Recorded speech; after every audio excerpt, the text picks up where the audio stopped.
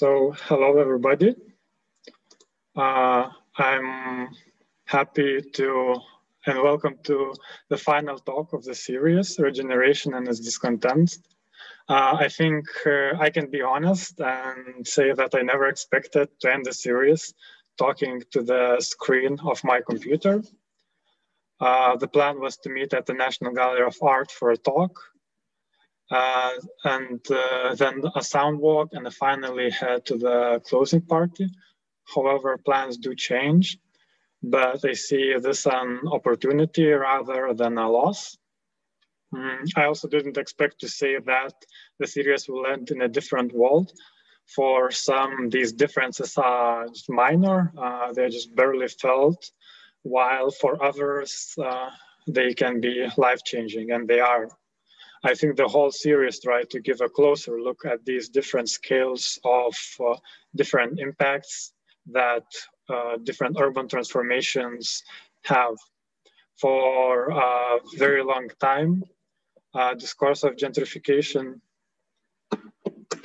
uh, discourse of gentrification offered binarities and uh, fake promises of prosperity, while state uh, led uh, regeneration process imposed different set of promises, but it, discontents were all too obvious.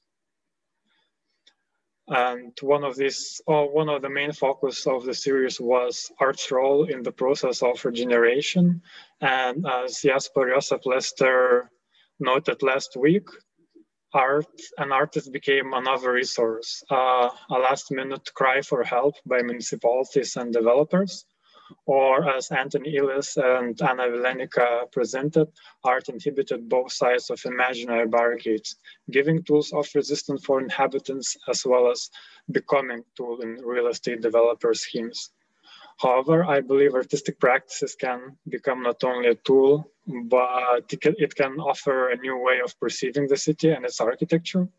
And I think sound can offer a fresh perspective on the city and especially on the architecture.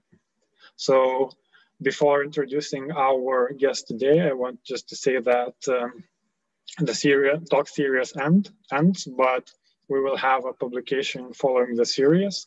And you also can find all the records uh, of the talks in Architecture Fund's website.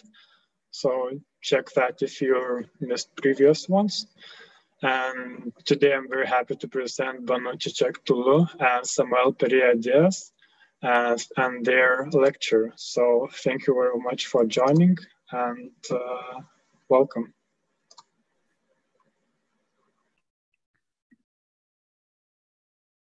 So, hi.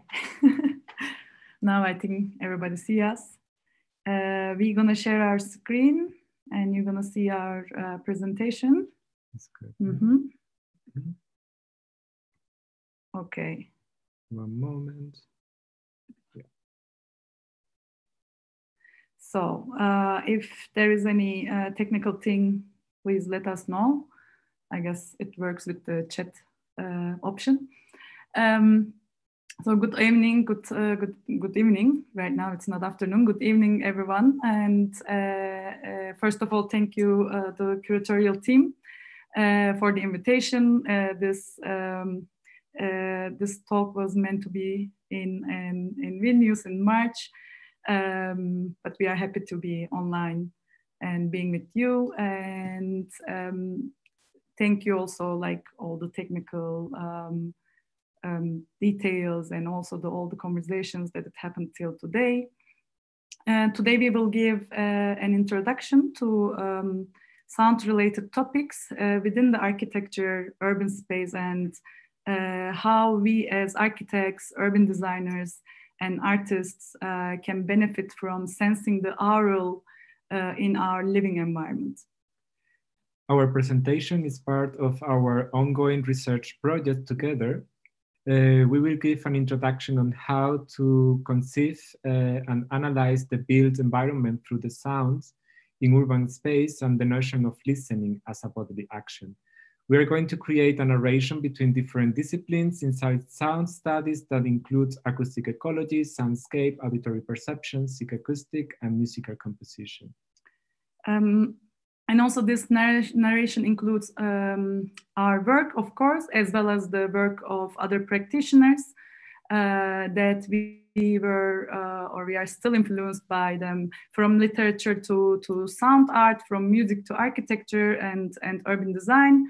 Uh, and also shout out to all uh, to all of uh, our students who are very eager and working very hard every semester and we learn from that them a lot. And this is an interdisciplinary topic in which uh, we engage our professional background, artistic practice, and teaching uh, at the university. Uh, in this talk, what we would like to share with you as well are ongoing methods.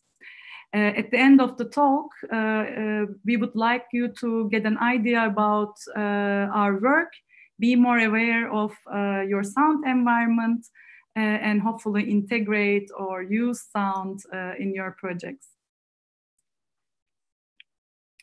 So let us give a bit of information about us. We are both uh, independent researchers with background in urban design and architecture based in Berlin. We are both currently teaching a seminar called Berlin Sonic Auditory Collective Exploration at the Humboldt University. Uh, for us, sound is not only a signal, but a spectrum or vibrational form that includes the social, the cultural, and the political. Our work consists of practice-based projects that span from workshops and site-specific interventions. We aim to include with them human perception of spaces and how to navigate them through sounds, which is our primary interest medium. As we mentioned before, we work with interdisciplinary research methods, which are based on studies about participation, public space, sonic urbanism, sonic environment, acoustic ecology, collective listening, auditory diagramming, environmental spatial justice, and urban activism. Uh, continue talking, I'm going to introduce myself. I'm Samuel and I have background in architecture. During the last year, I was collaborating with different cultural institutions, curators, artists, designers, and architects between different cities that include Sevilla, Barcelona, London, and Berlin. I started researching audible forms during my architecture degree and continued during my studies in the program Sound Studies. And at the University of the Arts in Berlin, my art practice is concerned with uh, observing and acting uh, between the interplay of memory and history. My site-specific artworks sets contextual data over the actual environment, sounding sonic structures with different mixed media, including virtual reality. Mm -hmm. um, so uh, my name is Banu. I have a background uh, in urban design and art. Uh, I am currently a PhD candidate um, at the Fine Arts uh, University Hamburg. Uh, in art practice, um, I focus on mostly practice-based approach and my artistic uh, projects um, includes the social field and social fields that and areas of knowledge focusing on critical discourse, gender studies, feminism, uh, critical theory, and so on. Um, this this much to do, uh, I guess, the practice-based approach is much to do with my background, um, and I um, I include um, most of the time um, participation and activism to, into my artwork. Uh, at the same time, uh, from the early um, early ages, I was into music. In the last years, uh, I was also including DJing techniques, for example, into my projects as an as an alternative tool. my studies and uh, my uh, artistic um, interests got together and I started my PhD, where I work uh, in the intersection of design theory, sound studies, and participation. Uh, in the following sections, uh, I will give more insights about my academic research, but basically I do dedicate myself uh, to the topics related sound in urban, urban space. Um, if, there, if there are more questions, I can, uh, I'm happy to answer them at the end of the talk. So we think uh, there is a big potential in searching uh, sound in architecture and urban design practice. The architecture discipline overall needs to provide itself with more resources in order to enrich the dimension of sound. But how can sound contribute to understanding the built environment? What are the methodology that foster sound as a participatory tool for us? Uh, in the book, The Eyes of the Skin, Architecture and the Senses, first published in 1996, the architect uh, Juhani Pallasmaa explored a theory of fully embodied and sensory architecture. In his own words, he wrote, we are not normally aware of the significance of hearing in spatial awareness. Architecture is the art of reconciliation between ourselves and the world, and this mediation takes place through senses. What we can anticipate here, and we are going to see next, are projects that generate spaces in the interstice between architecture and sound. There are examples of cross-disciplinary approach to sonic scenes and bodily perception of space. Yeah. Mm. So as Samuel uh, highlighted, we use all of our senses in our daily uh, in our daily um, daily life, and uh, in our interest in working with sound, we start um, our projects uh, asking this question: Are you listening? Uh, this question uh, belongs to Pauline Oliveros, who is an American composer and female key figure in the development of experimental electronic music. Uh, she formulated the term deep listening uh, to describe a practice of radical attentiveness. Uh, in her practice, listening is an inherently empathetic bodily act. Uh, Oliveros uh, is an important figure for us. we appreciate her work a lot and adopt her methods and techniques about hearing and listening attentively in, in our projects. So um, you can see a quote of Oliveros from her book, Deep Listening, uh, from 2005. Uh, Oliveros' words already reflect the engagement with sound and memories.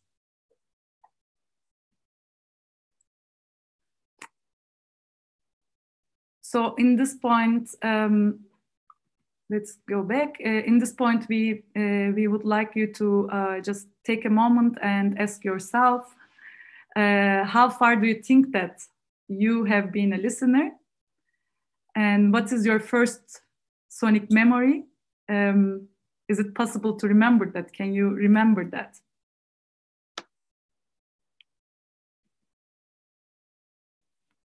So here another um, uh, another quote from Oliveros, as we can uh, anticipate here already, hearing and listening is one of the most important human skills to understand and experience in everyday life. Listening as a common practice that we all, we all do, we all observe our common environment sonically.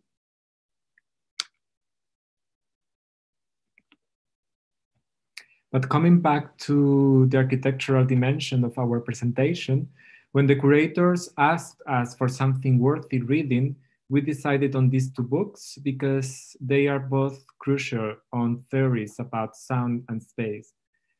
On one hand, Murray Schafer extensively touches upon the idea of soundscape, and on the other hand, Barry Blesser and Linda Ruth Salter related to architecture, covering the acoustic of the built environment. And both separately or together are a phenomenological study of the built environment from the perspective of uh, urban and architecture theory. First, we would like to talk briefly about the book Spaces Speak, Are You Listening? Experiencing Our Architecture, in which the author outlines auditory aspects of uh, architecture space as a aural architecture, which refers to the property of a state that can be experienced by listening. The book offers the reader a broader context of aurality, auditory spatial awareness, aural arts, and musical spaces. The author continuously suggests understanding the aural architecture of different spaces. For example, on a highway, one can feel unsafe and stressed because of the noise. In a concert hall, uh, or in the dance floor, one can feel dynamic and excited because of the music, or, mu or maybe in a religious space, one can feel safe or just calm because of the silence or the reverberation of the space. Mm -hmm. yeah. So this is um, this is us. slide. Yeah. We can pass. And um, the second book was uh, the famous Soundscape, um, Our Sonic Environment and the Tuning of the World by Murray Schafer. It is one of the um, one of the most important uh, works on theory of soundscape.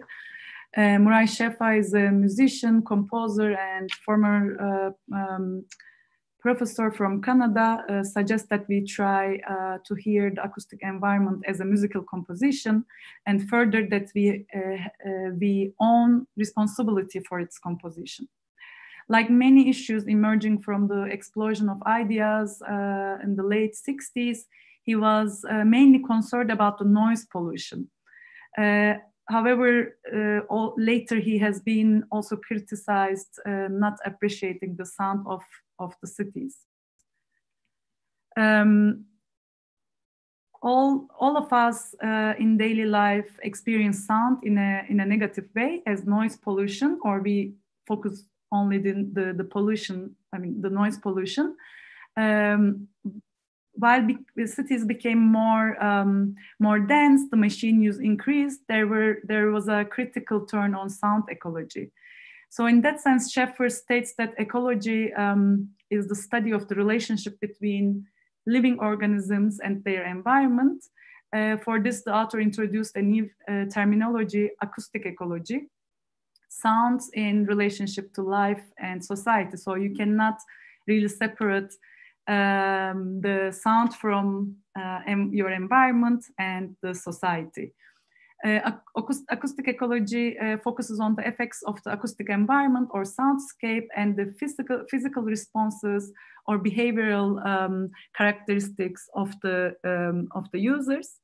Schafer's response to the problem um, was develop range of ear cleaning exercises, including sound walks, uh, a walking meditation where the object is to maintain a high level of sonic awareness.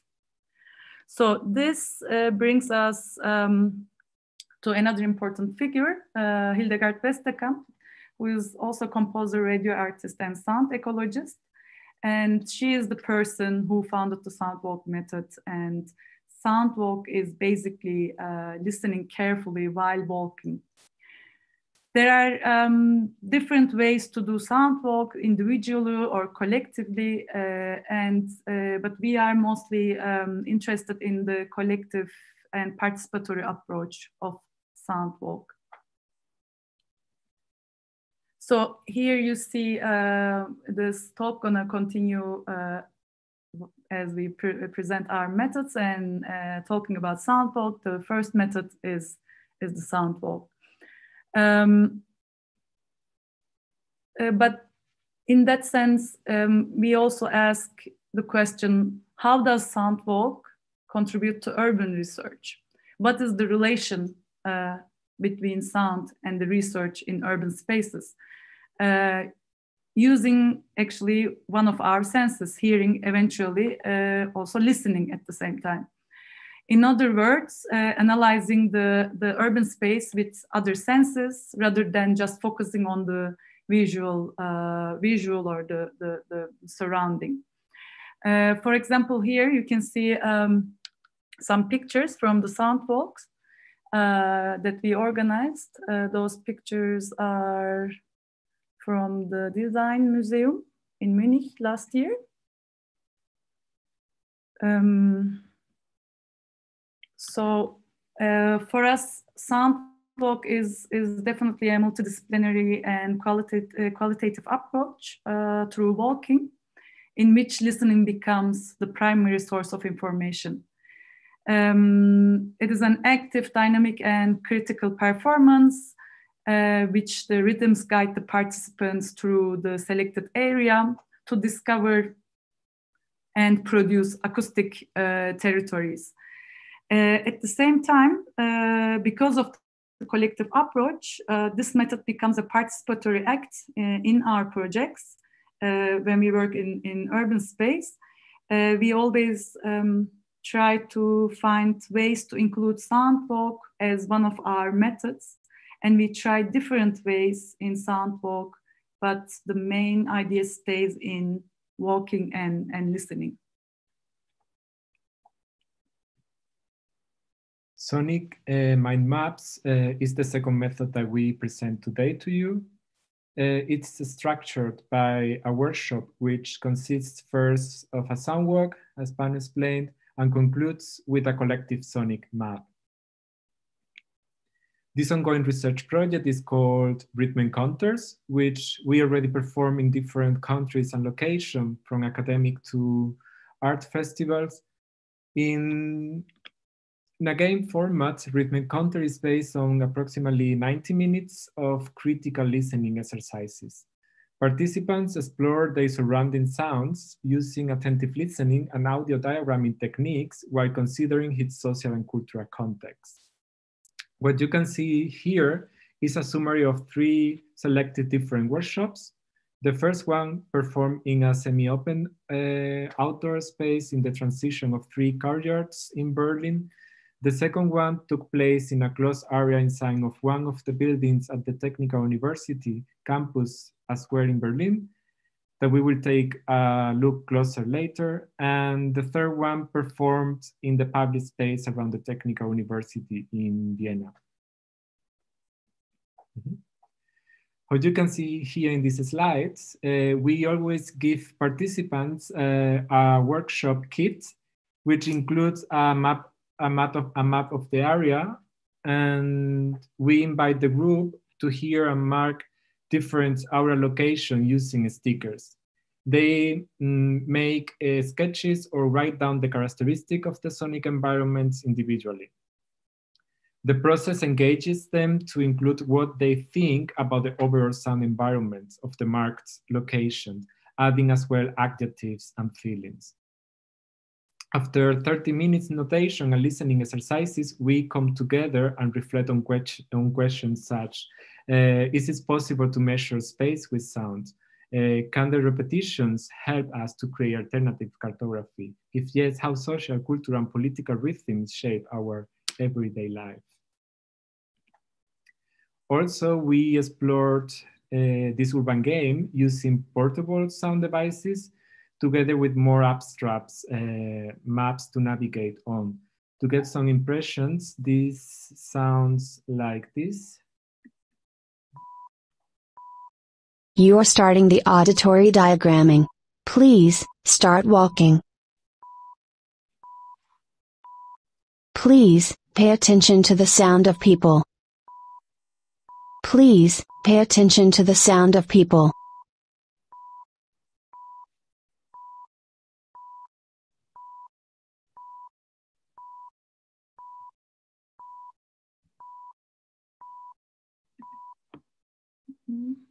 So that sounds like that. And as, um, as you can imagine, Rhythmic Encounters uh, has been as well adapted to, uh, uh, I mean, adapted as a, as a digi digital intervention due to the current situation and restrictions on, on outdoor meeting and acti uh, activities in, in, in, in groups. Uh, the online adaptation uh, facilitates um, the participants the whole material, as you can see here, uh, that they can use individually or self-gathered uh, small groups in that up and uh, there's an abstract map that can be easily downloaded and printed, uh, which can adapt to any city or any, any area. Um, after, uh, after downloading, they can follow the instructions and include their annotations. Uh, and uh, after completing uh, the task, they can send us uh, an email with the results. So uh, we collect all the abstract maps, which have been manipulated by different people, and create a collab collab uh, collaborative uh, result. And this way, it becomes an analysis tool, which we very much needed in, in urban design processes. So, yeah. Just have a look at some samples. In this workshop, we started visiting the site-specific work of Bernhard Leitner. This is a permanent sound art installation in a corridor of the university uh, that has been running every day since 1984. After that visit, we continued doing uh, the workshop uh, in the central indoor courtyards of the same building using um, this map. Like the other workshops, uh, this one is a structure within a drawing uh, of the area to explore and drawn stickers and written commands. After uh, 25 minutes of listening and writing down individual impressions, uh, there is a collective um, discussions where the participants talk all together about the different stages of the listening section. For example, we encourage them, uh, asking them to share the impacts of the sonic encounters they had, as well inviting them to share the impersonal, their personal uh, impressions. Here we can see closer the blank map that we provide in the beginning of the workshop that basically is the architectural plan of the area to perform with. And here a movie of the 18 individual inputs.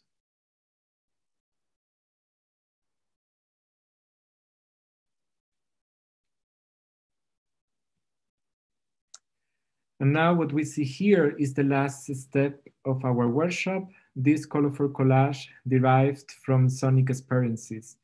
It is an overlayer sensing cartography that we created with all individual maps. Some days later, after the workshop, we sent an email to all participants with uh, the collective collage. Because also we think that these objects becomes a visual written memory filled with sonic perceptions. So we're gonna show you some uh, impressions, some pictures from different locations and workshops. Um, every time we realize this workshop, uh, the context is different. Uh, and uh, as well, the participants coming from uh, different backgrounds, uh, working with different fields related to architecture, urban design, or art, or not related and they participate with their own knowledge and experiences in, in, in the urban space. And because of this reason, the results uh, differ, and this brings a lot of um, yeah, a lot of uh, diversity to, our approach. We were really looking forward to do that in Vilnius also, and hope we hope that uh, we would uh, we would realize in the in the near future. Um, and yeah, so we believe that also this kind of individual collective listening exercise can be uh, used uh, as an analysis tool for urban design practice. Instead of um, instead of sitting in a table, interviewing or surveying the inhabitants, such such a method uh, can create a collective understanding of the urban space uh, through sound uh, while helping to improve um, the sonic conditions of that area. So uh, let's, uh, yeah, this is also, as you see, is the last part, excuse me, um, is the last part of the uh, workshops. We put here all together to compare, like you can see already the differences between the number of participant mm -hmm. intensity for writing down inputs of for selected workshops. Yeah.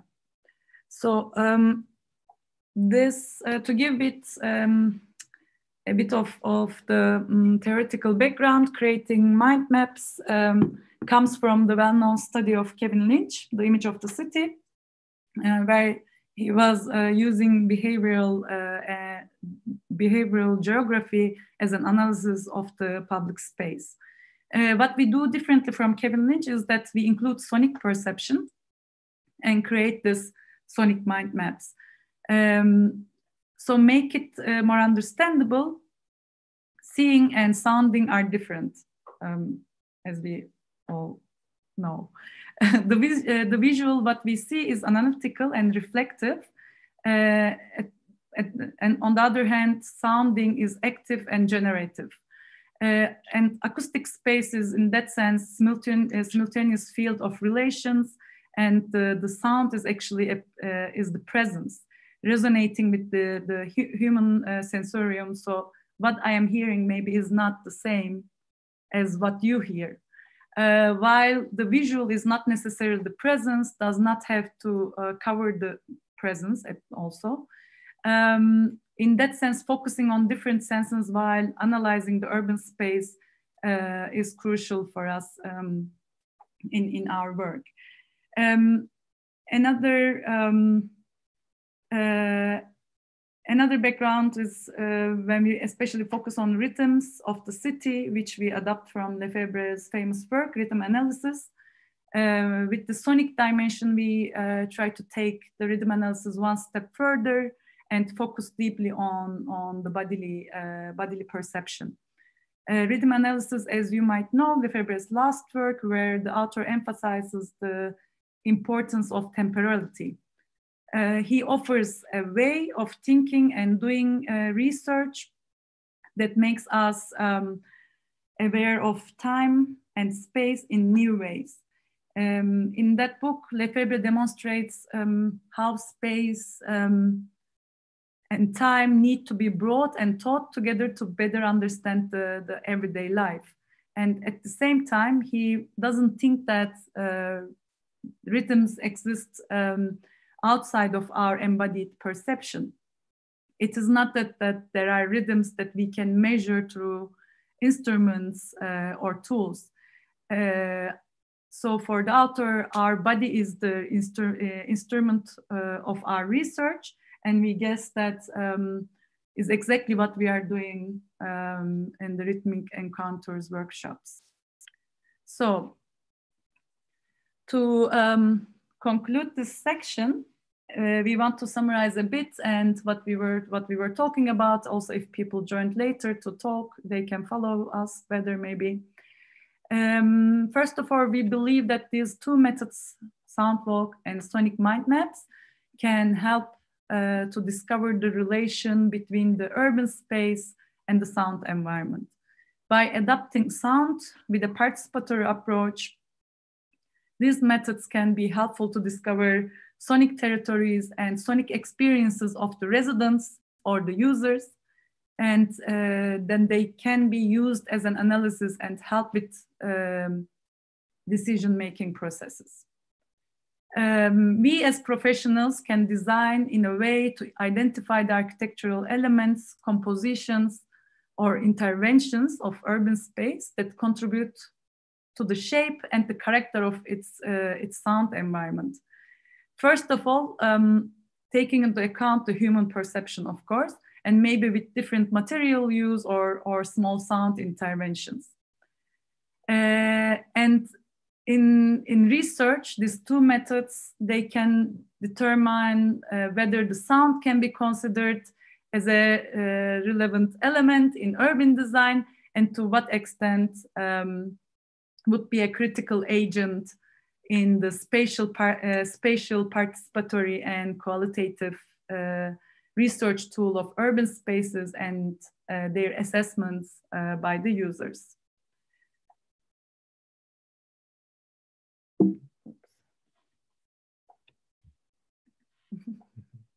we're good in time. Yeah. yeah. So we are going to present now quickly different uh, examples from architects and artists that we think that sound has been used as a participatory tool. This kind of project includes influence us quite a lot. Uh, there are different approaches to how sonic forms can foster participation and interaction in the public space. Uh, in this project, Studio Morada Vaga, that is a collective by Pedro Cavaco and Manfred Eccli, directly or indirectly, they work quite attentively with sonic objects and sonic spaces. In particular, in this intervention in Portugal, the performative, performative objects uh, create these narratives resonating memories or storytelling with the seeing of a giant squid. Studio Morada Vaga took inspiration from the rich sea life that exists in and around Atlantic to produce, to produce a site-specific piece um, of interactive art. Mm -hmm. The sound intervention highlights the aspect of communication in the process of participating with both sounding and listening. In that way, the interaction with the environment is an exercise of sending and receiving through the reciprocal action of different public. Just uh, get an impression of the sonic dimension of the intervention and play a short video.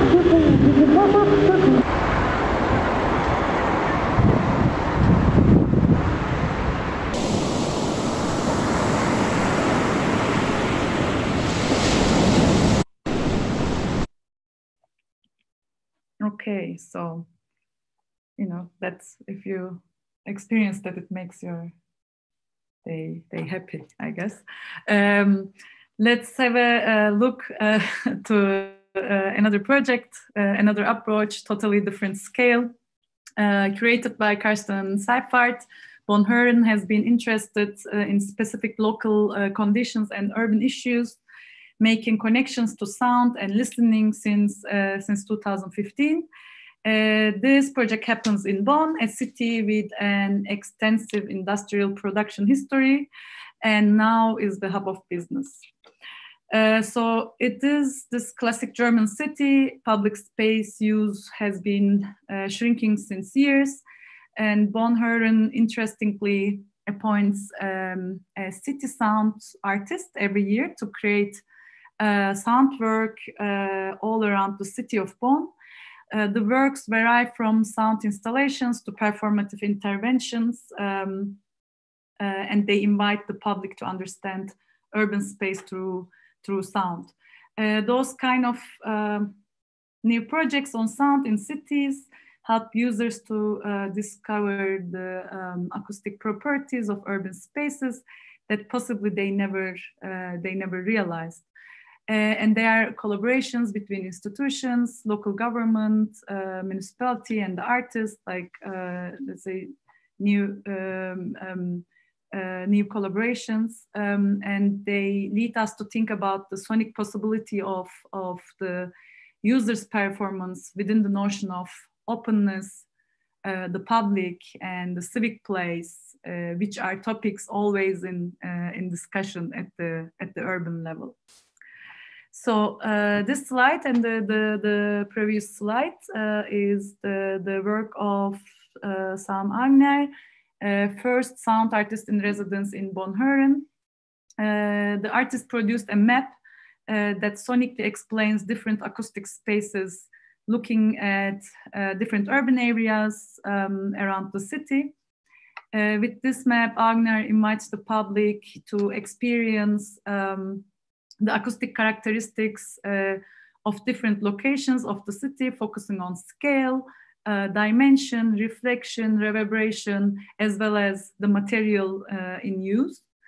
Um, it is a mind-opening project um, because on one hand, using the sound in various scales, they create a space for participation and interaction using, uh, using sound.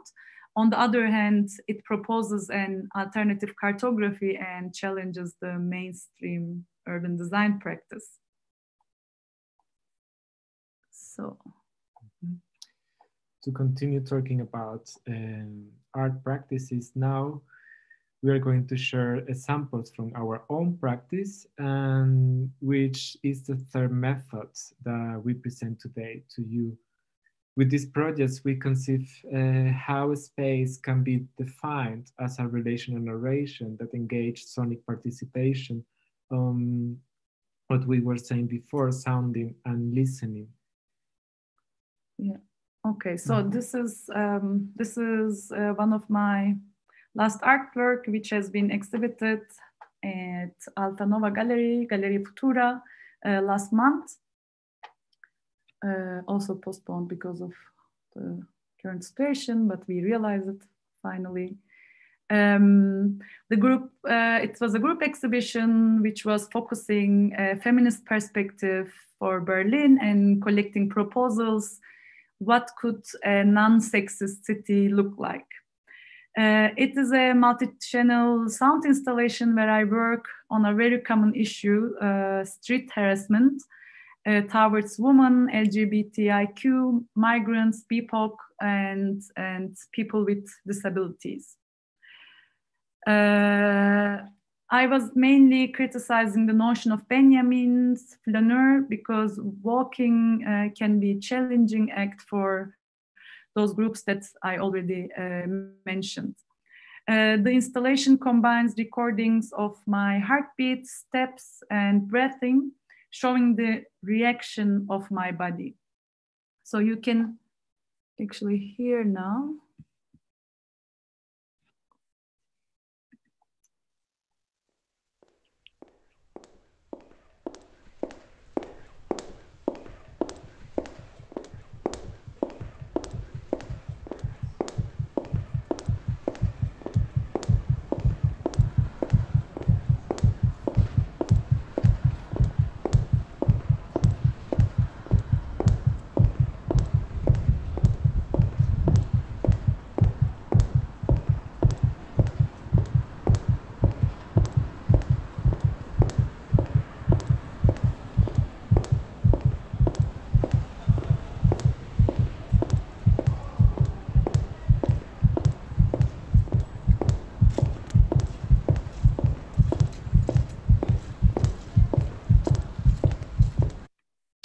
So um, there were, I explained a bit the installation. So there were six uh, different speakers with different sounds. One, you get close or enter this uh, round shape uh, structure with your head. Uh, you start hearing the sounds separately, but they become one single track uh, because of your perception. So I wanted the, the audience to feel my body and the sonic reaction of my body um, with this, um, let's say, sonic work, I wanted to create um, awareness of such visible problem, which I call sonic violence, uh, which our privileges sometimes uh, doesn't let us to realize, or we don't really realize uh, what's going on uh, in the uh, in everyday life.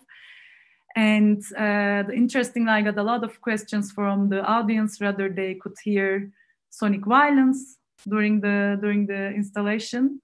And contrary, the, the, the, installation does not consist of sonic violence. It rather proposes a safe space during the experience with a, a meditative and rhythmic sound composition. So. Mm -hmm. um, exploring mechanism of uh, surveillance. Um, this artistic intervention on the public space emphasizes the ordinary perception of board on borders of control. This work refers to a specific historical surveillance space which was located in the male toilets in Hamburg in the 80s in order to control encounters in public toilets. This historical incident was signaled by the intervention of queer activists by breaking the glass of the panoptic rooms. I got very impressed by this action and created a sonic intervention in the building of the Academy of the Arts in Berlin, referring to this historical act.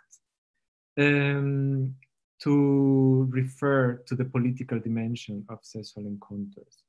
This performative sound sculpture is a six channel composition composition that consists um, on field recording of the ventilation system from the male toilets located in the underground of the building.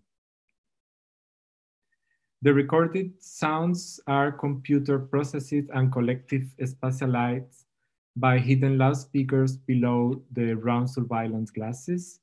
The sound of this intervention combined the sounds of the ventilation of the building while relocating and positioning them in the outdoor completes and creates the piece.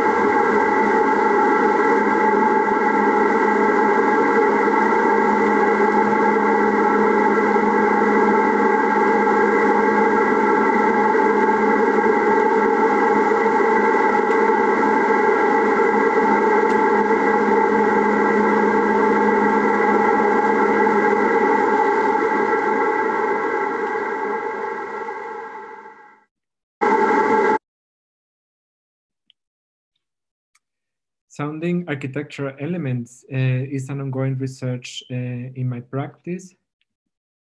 For example, this intervention uh, plays with the notion of uh, the aesthetic experience as a medium. It proposed to explore human identity through the perception of sounds. This piece is a sonic installation which is located on a 10 meters long wall the installation invites the audience to explore the existing sound environments while paying attention to the new sonic textures that emerge as a background sound. Let's listen a little bit.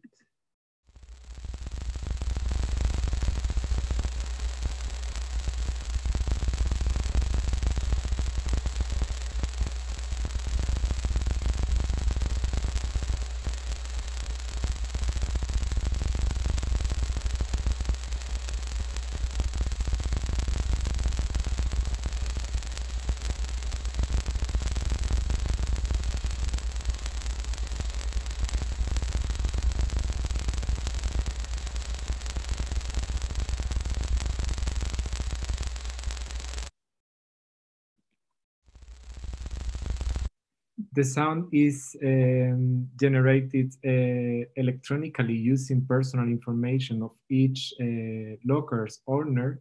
For that, I used uh, finger recognition techniques to create a notation of the personal data. And in that way, it, way each participant's uh, finger biometric characteristic have been classified and converted into sonic textures. Mm, yeah, as you um, as you see, the topics uh, we are working on uh, related to our everyday experiences. They are related to society, mostly minorities, and also also very political. Uh, we believe uh, the power of sound, uh, which plays a crucial role uh, in creating the creating the political um, imagination uh, coming back to the, the problem of the sonic violence, this project is a workshop series um, I was doing for the last two years. Uh, and it aims to create a platform where um, there is a learning process about the sonic violence, uh, sonic memory, and analysis of the sonic archives of the participants, as well as uh, the exchanging the strategies towards the, uh, the sonic violence. Uh, when we talk about uh, sonic violence, one of the most common protection, isolation from its uh, uh from it is, is using headphones. Uh, even one can uh, one can hear, at least pretend like um, not hear anything. So the workshop starts with an introduction and and follows follows with a sound walk. After that, um, participants are invited to to create different, uh, different headphones with recycled materials. These headphones are provocative rather than, than it's aesthetic. And here I also play with the idea of design that I believe that it's a it's political, provocative, it sexualizes, it colonial, colonialized and manipulates and and segregates.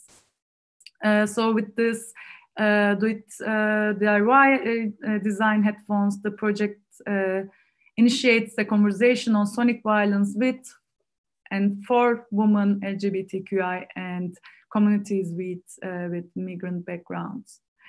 As we already mentioned several times, hearing and listening are totally different notions. Um, working with both this phenomena is challenging, but at the same time can teach us and the and the, the, the participants or the group that you are working the the, the the idea of uh, Pauline Oliveros, attent attentive listening, which can have a great impact on us in terms of creating awareness, understanding different perspectives, and enhancing our political uh, imagination. Here are some pictures of objects that we were creating together. As you can see, they are very provocative and bring, bring also the question of uh, why do we use headphones in, in our daily life. So you can see, okay. Time. So we are in the last part of our presentation and our understanding of sonic exploration can be understood as an alternative and interdisciplinary teaching tool, discovering urban space through sounds. For that, we wanted to introduce our teaching experience, Berlin Sonic Auditory Collective Aspirations. Um, it's a seminar in the Berlin Perspectives module at the Humboldt University Berlin the aim of the course is allowing international students to explore urban space in a new city through sound to gain strength, strength and to develop knowledge and individual perspective um, while including their own disciplines into the discussion. Coming from different backgrounds, the students explored the urban space with the possibility of use sound as a learning tool.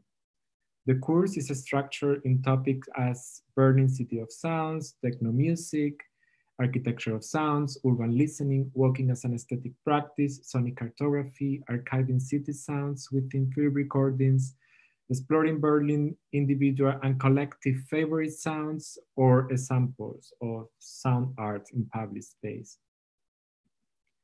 We'd invite local and international artists to share with us their practices. For example, here we can, we can see some online talks with Katrin M., Nik Nowak, Peter Cusack, or Dimitri Hegemann. Like where we invite the other artists as Georg Klein and Hans-Peter Kuhn. Uh, the course also includes uh, architectural visits, excursions, listening sections, and sound works as we visit the, the Berlin Philharmonic or exploring the acoustic dimension of Tempelhof Airport with the artist uh, Sam Auinger. Mm -hmm.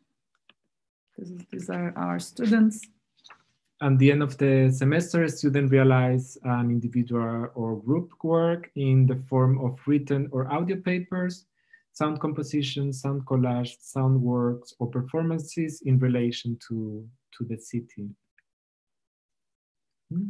Yeah, so um, we now at the end of our presentation and we would like to sum up a bit. Uh, let's have a look kind of um, important points that we reflected on during the talk. First of all, we see sound as an analytical tool. We believe that we can create sonic pedagogy. As we shared during the last part of our talk, we perceive sound as a pedagogical resource to explore the sonorities in the urban space and intermediate uh, sonic spaces. Uh, it can uh, it can uh, foster further exploration of the oral culture from the perspective of urban studies, um, architecture and art, and could be a proposal for alternative pedagogy and education. in an interdisciplinary disciplinary context, sound has a big potential to open up new ways of knowledge and imagination in education. And not only in academia, uh, we aim to work with different communities and especially with local governments in order to include sound into decision making processes. Um, secondly, we strongly believe that sonic learning is crucial for all disciplines next to architecture and urban design departments. In that way, it does not belong only to acoustic design or music theory or practice. Therefore, we believe sound can be used as a transdisciplinary research tool. We narrate the architecture of the built environments in our research from the perspective of sounds. And as we mentioned at the beginning of the presentation with the terminology aural architecture, and we see uh, at the same time sound as artistic research tool as well. Working with sound requires um, understanding the emotional, behavioral uh, experiences of the space. In such artistic research, sound uh, creates possibilities to perceive our surrounding through, through senses. From an uh, audible um, perspective, we can observe the qualities of things beyond the dimension of the visible. Uh, as in works Oliveros or Lefebvre, our body is the tool that helps us uh, to understand the environment and our practice and projects can be seen as examples of sensory aural training. So uh, those are the points which you can take uh, as some proposals to include sound in different uh, design processes. Uh, we hope you enjoyed the talk and our arguments uh, were clear enough. It is extremely uh, difficult to talk about hearing and listening as each individual has its own perception. Uh, hopefully you, you got something from this talk. So we would like to, to thank you for hearing and listening to us. We are open to any questions. Please ask and also in the future if you have if you have any questions or inquiries you can write us an email and thank you again for the curatorial team for the invitation and we hope that we can go to lithuania soon and do the rhythm encounter workshop there how yeah. we planned hopefully so we stop share now mm -hmm if you get our emails. Yeah. What time is it? I think we are good on time. Shall we turn off the camera or we are good? Uh, okay, so yeah, you are good. Uh, thank you so much uh, for for the presentation, and uh, I just wanted um, to ask you, uh, like, how one, like, what would be the beginning, or how one starts to develop or let's say improve his uh, sensor like sonic imagination or sonic perception uh, like after like the stock for example where, what is the starting point? It's it's super easy. Just go out and listen. No. just no but i think it's like different always for for different people no? Always the starting point is depends of the background of the receiver and how wanted to implement in their own practice. And and this is what we find it quite rich in our uh, format of working in the workshop. We never know uh, the participants so we can expect in in how they are going to receive uh, what we're trying to negotiate or we're trying to to dialogue with them. And i find like in the end it's like someone always brings something and just making you thinking that you should listening differently or change your mode of attention already helps to to do a change in mm. something so yeah i cannot say how to start but i think everyone knows how to change that perception or mm. how to use it I guess it's uh, it's definitely important where, where where you're coming from, also which which country, which city you are, because um, sonically every every city um, every country uh, works uh, or functions totally differently.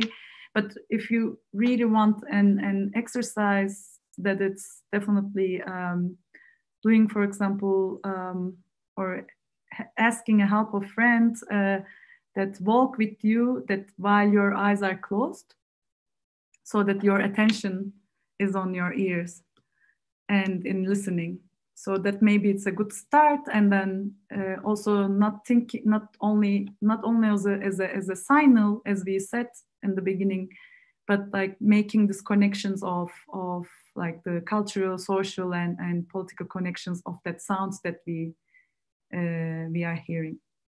Yeah. Um, thank you. And uh, uh you both live and work in berlin and could you tell from your professional and personal experiences, uh, what do you find the most attractive in the sonicscapes of Berlin? And where do you see the maybe areas for improvement? And the areas that or, or sonic aspects of the city that uh, you find disturbing Okay, so I guess I should respond that as my my uh, my research is also my case studies in Berlin. Uh, it's again going to be really personal, but I guess for me uh, the the most interesting sound is definitely the the, the sound of nightlife, um, because it's very diverse and very alive, or it was and we don't know what's going to happen but at least it was like that. And i guess berlin uh, berlin is like uh, berlin is quite quiet city. Like it's it's not it's not a noisy city. It just um, depends like how your personal being. Uh, if you are really stressed and like uh, and you you put yourself in the stress and like moving with these rhythms and then could be really um, really uh, noisy maybe but um, other than that it's not um, i mean mostly in europe right? It's it's not like really noisy uh, environment. And also i guess it creates this surprise places berlin because of the construction because of the architecture. There are um, there are for example courtyards. Right now for example we are in a courtyard that's even the, the, the street is super um, busy, we don't hear anything. Uh, we, we not really realize if there's life outside. So the, the closed architecture that it comes from this, uh, uh, um, be, like the, the, the, the, from the architecture and the construction, um, I guess makes kind of different Berlin. But this is really interesting question. Like uh, we, part of our seminar at the university is reflecting of this kind of question because in the end you how far you are listening you know when you are describing sound of the city uh, like Banu say describing a environment when it's home but related with a courtyard that is kind of blocking the sound of the traffic of the streets. And there are this project that we really like it from the artist Peter Cusack. We invited already twice in our seminar. He's doing these uh, favorite sound projects, interviewing uh, people about their favorite sounds and their relation with them. And when he was presenting this project in our course and asking our students, what is your favorite sound in, in Berlin? it's really rich to see all the different approaches of the answers. No, there are like it's like a, a scale. You can zoom in, zoom out of the notion of listening, and this complexity carry a lot of information. And I find really interesting question, and it's really difficult to actually mm-hmm. to answer. And mm-hmm. so, like we were arguing, it's really personal as well. Yeah, he was doing also this project in different cities. Uh, like mm, especially in Berlin, it's called favorites uh, favorite sounds, uh, Berlin favorite places. This is the book. This is the book, uh, and he realized it actually in different countries in different contexts. And one of the most common responses the the, the public transportation, for example, everybody's um, favorite sound, and it's also in Berlin, also in London, in in China, everywhere. So. Mm -hmm. You are mute.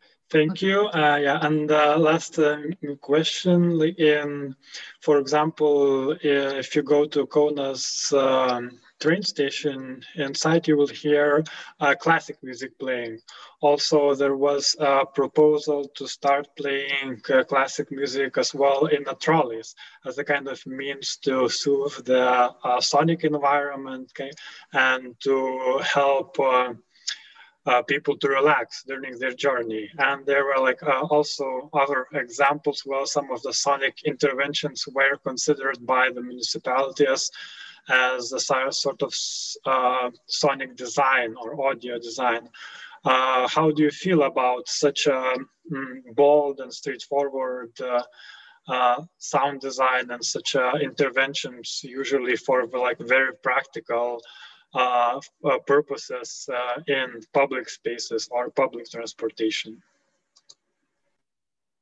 Um, yeah, I mean, I guess uh, this is what you gave an example. It's a it's a positive example because in Germany uh, they use classical music in the big um, uh, or the main train stations to to um, get rid of the homeless people. So uh, this is like a big uh, discussion in Germany in different cities like Bonn. Uh, I guess in, in, in, Hamburg it started first, and then especially um, they last year or two years ago they wanted to do in Berlin. So that if the idea is like if we play classical music, the homeless people they're not gonna um, they're not gonna stay in that area. So that it's kind of a cleaning tool uh, in that sense you can you can understand the, also the danger of sound uh, and which sound is like extensively used uh, in uh, in in war situations uh, and now is like the, for example germany is one of the um, uh, leading um, country that creates the long range um, um LRD, uh, the, the, sound device, which uh, has been used in the Ferguson uh, movements, for example, in US, as as um, towards against the, the, protesters. It's like really uh, high frequency sound, and you uh, that you cannot stay there, so you just uh, you just um, you just go away.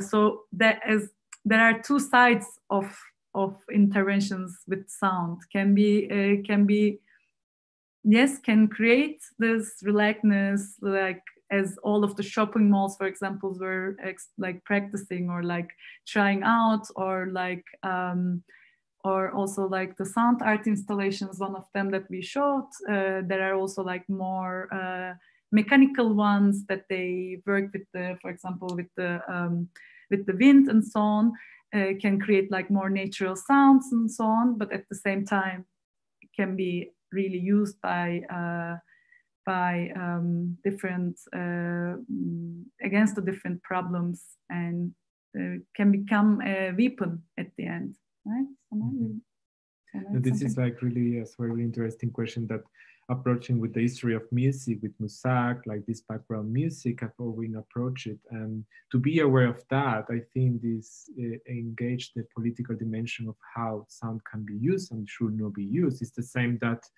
uh, sometimes we call it like this kind of sonic perfumes. Not you cannot add a sound of birds to reinforce uh, the the feeling of nature in a park or this kind of so Sometimes uh, the intervention with sounds, of course, could be more precise or less precise of a failure or reaching the point to, to, to be aggressive for, for, for the inhabitants. No? And, but it's interesting like to be aware like not only listening and hearing like to be aware what we are listening and how we are listening and what we want to listen and what we want to block mm -hmm. that is at the end yeah. uh, question that we want to bring in our mm-hmm. workshops and mm-hmm. not only sensing like receiving the vibrational form like a positive uh, we like as human can perceive the environment orally no as well we should be aware what's this uh, information these sounds are carrying and, mm. and also like um i was going to say something but it's gone. So I guess we are in that sense a bit radical uh, because um, um, it's it's a reality check. No, we are living in cities. You decided to living in city, and there will be noise. So what we are trying to do with our practice is like trying to understand of level of uh, human perception, so that it's differ differs from each person to each person.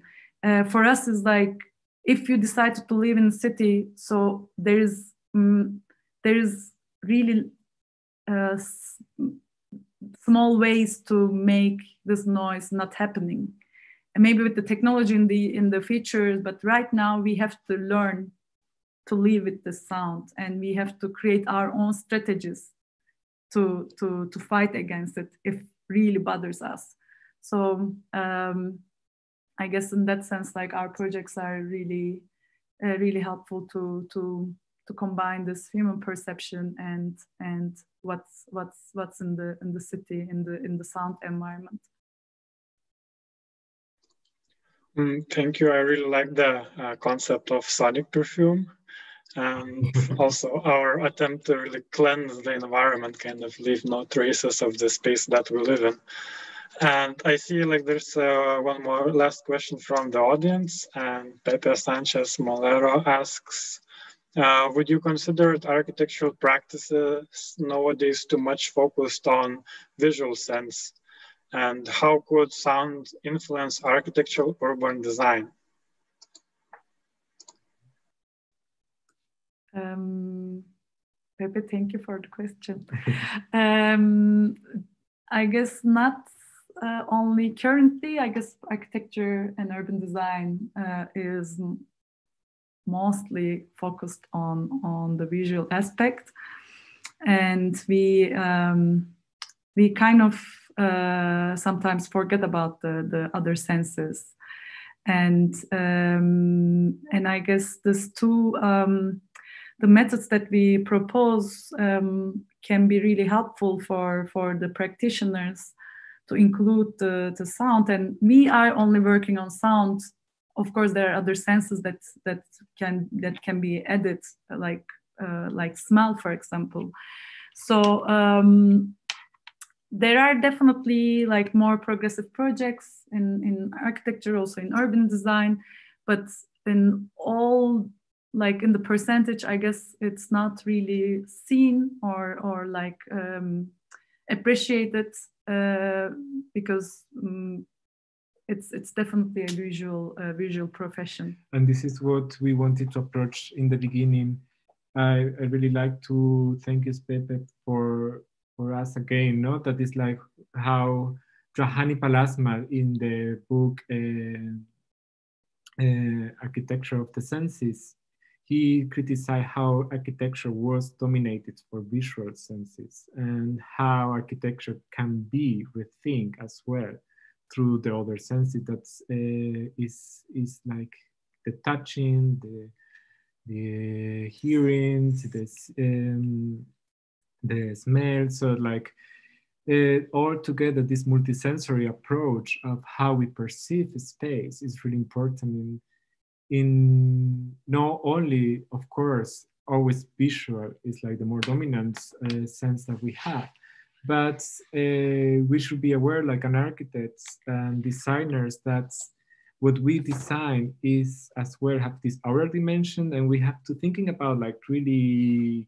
concrete uh, projects. You can go to a really nice restaurant really elegant maybe and uh, the acoustic dimension or the acoustical space is horrible. You cannot talk with the person in front or you go to work in an office eight hours per day and it's dramatically like a nightmare to be there for the noise that is generating all these spaces. So we like an arch- architects thinking from the inside to the outside we are creating these other dimensions. And either that we can approach it, we should be aware how to improve it or how to create something different. No? So there are many architects that we are referring, Bernhard Leitner, and for example, like this approaching sound technology and architecture and the conceiving space but of course, like always, it's really difficult the dimension of our architecture, and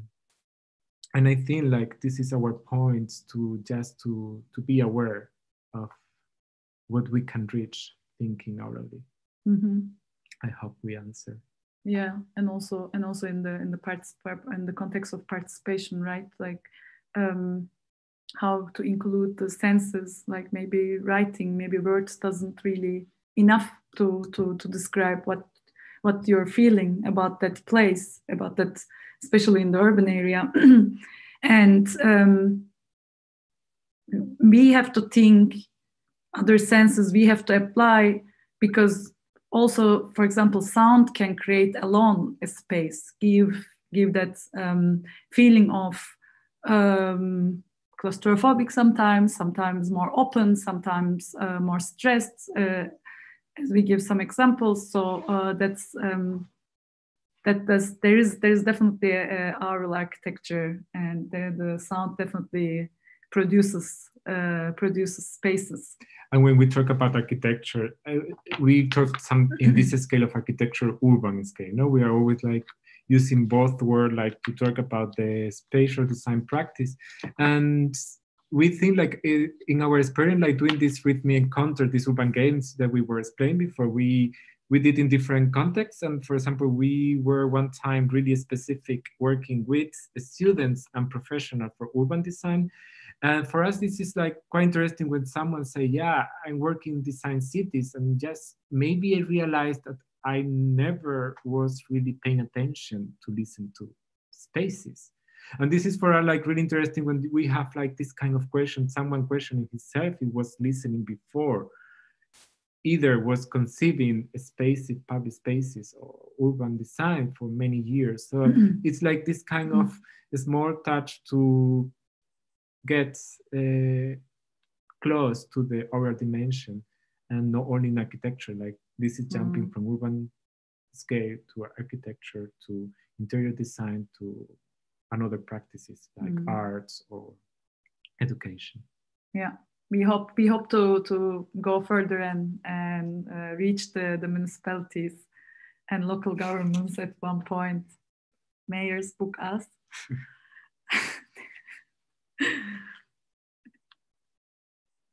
Oops. So uh, thank you so much, uh, Samuel and Banu. And this talk concludes the series Regeneration and its discontents. And I'm uh, very grateful for everyone who came uh, in person and online. And uh, hopefully you found something that was interesting for you, something that revealed the parts of uh, different parts of the urban transformations. And uh, yeah, that, that, that's about all in the series, and we will have a publication later on. So follow the Architecture Fund and see you in the other events. Bye. Thank you. Bye.